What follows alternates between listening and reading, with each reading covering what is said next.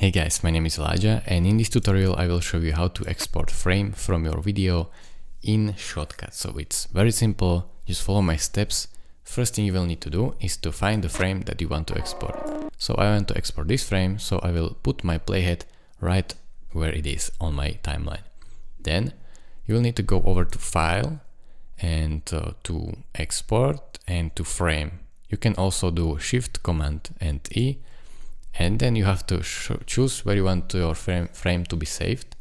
And basically name it so I will name it uh, tutorial frame new. And then click on save. Your frame will be exported and you can find it in your finder. So go over here and file here tutorial frame new. And as you can see this frame is here. I can put it on my timeline and use it in my video however I want. So this is how simple it is to export the frame from Shotcut. Thank you guys for watching. If this video was helpful to you, consider subscribing and liking this video and I will see you in the next tutorial. Bye bye.